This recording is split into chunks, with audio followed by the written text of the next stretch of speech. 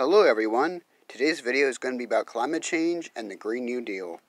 This is a very important topic and we must take it seriously. We must act on climate change. For this video, I will not be explaining how humans' activities are the cause of climate change, not the science behind it is what I mean.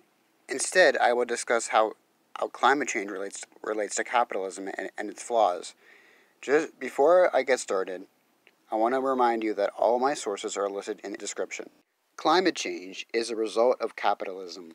Our whole entire economic system, capitalism, is based around the fossil fuel industry.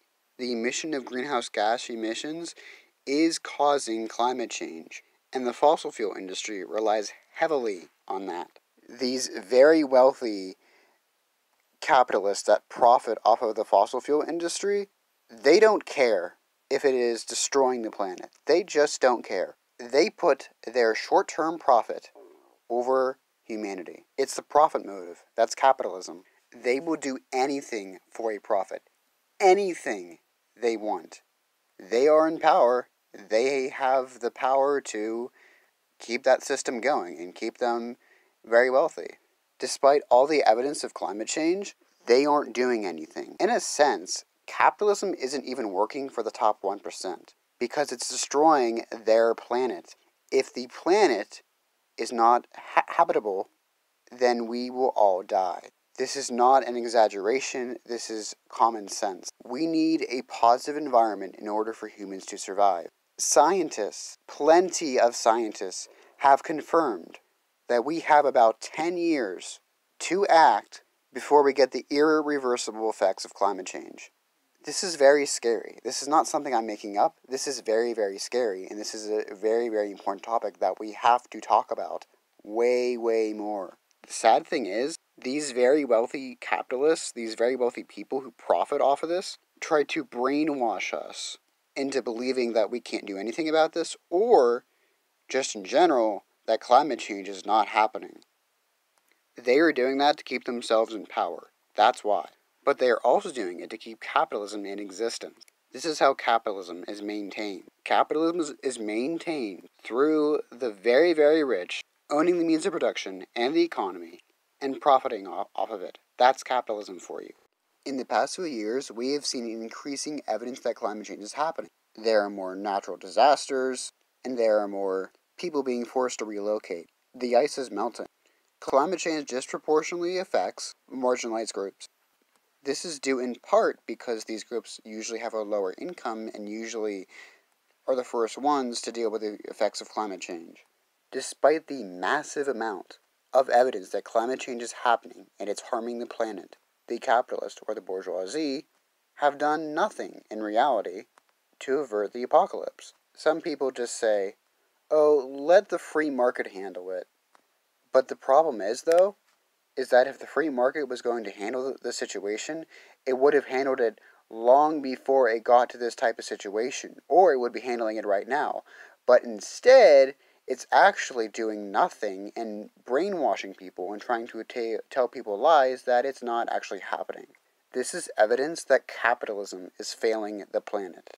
A lot of people point to the Paris Climate Accord as the solution to this problem, and that capitalism is, is not why because some capitalist countries are members of the Paris Climate Accord. However, the Paris Climate Accord is far from being an ideal solution to the climate crisis because it only allows states to reconcile their differences on climate change. I agree, it's better than nothing, and the United States should not have withdrawn from the Paris Climate Accord, but it's not going to be able to solve the crisis. Additionally, a study by the Polish Journal of Environmental Studies concluded that increased energy taxation on CO2 on transportation only increased operational costs and did not have a reduction in, in emissions. A 2018 study by the Sociological Forum found that broad economic policies in state governments did not reduce CO2 emissions.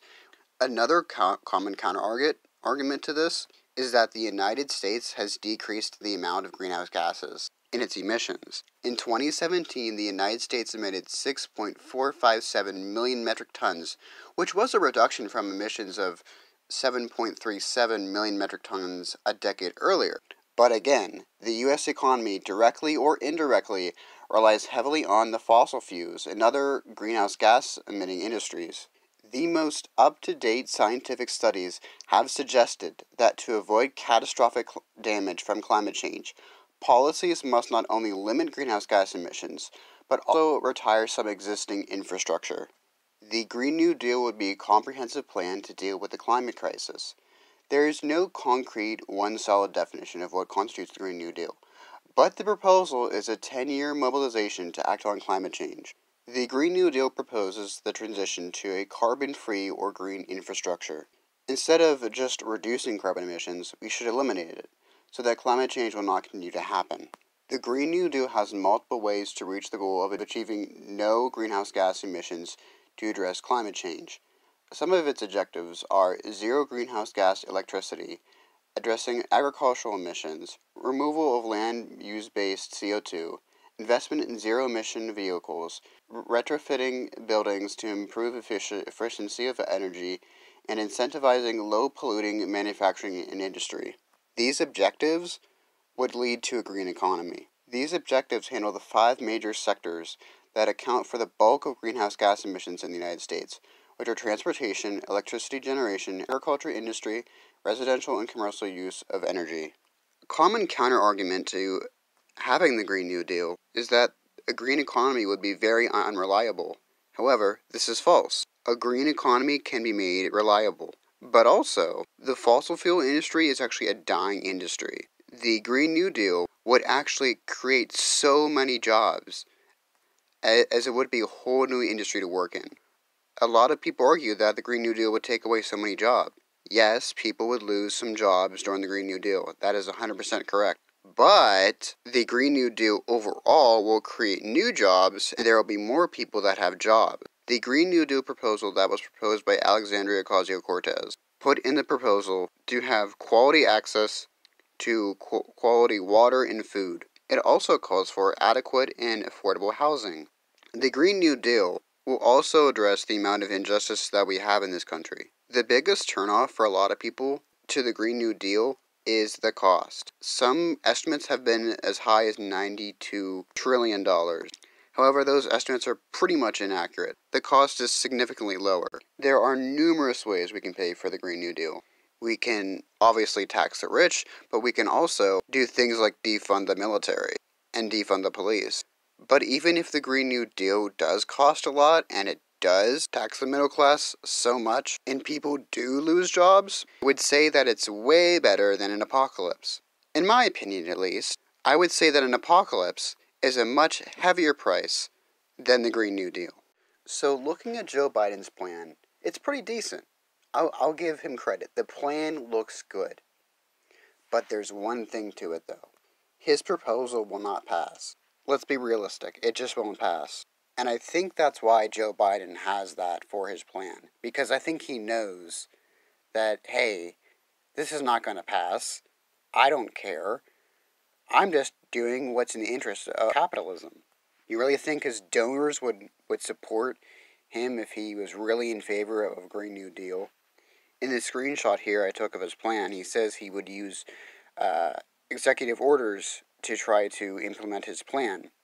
But pretty recently, Joe Biden decided to say in the leaked audio that he will not use executive orders when they are seen as controversial or so that means that actually he will not have executive orders dealing with climate change because I can guarantee you at least one Republican or one Democrat or whoever will challenge it and say, no, there's no way he can do that. That's totally wrong.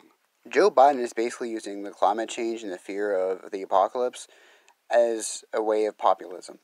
But any smart man would know that Joe Biden is not really in favor of, of the Green New Deal. Not really. Maybe he wants to do some minor things, but he still wants to keep capitalism alive.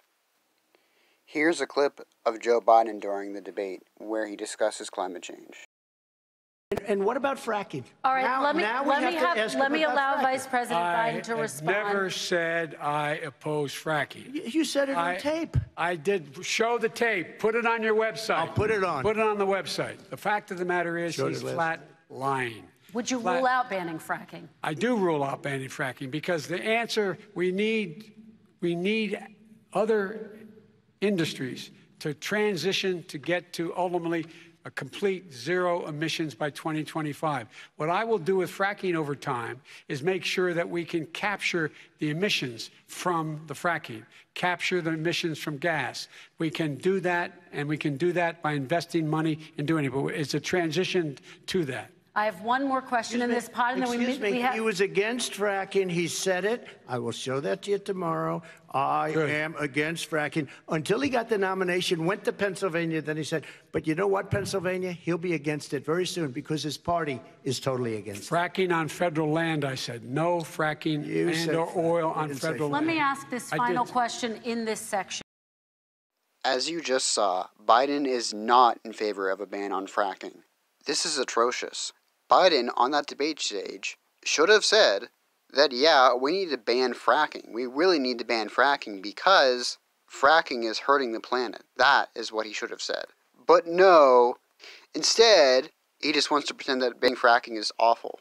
Here's the deal it is almost universally accepted that humans are the pri- primary cause of climate change and its effects. What we need to do is we need to start talking about the Green New Deal more, start pushing for it. Because, yes, there are talks about climate change, and climate change is, again, almost universally accepted. The thing is, is we are not mobilizing to fix it. We must lead the world in dealing with climate change. That is what we are supposed to do. Thank you for watching my video. Please give this video a like, share it with your friends and family, and subscribe to my YouTube channel if you have not done so.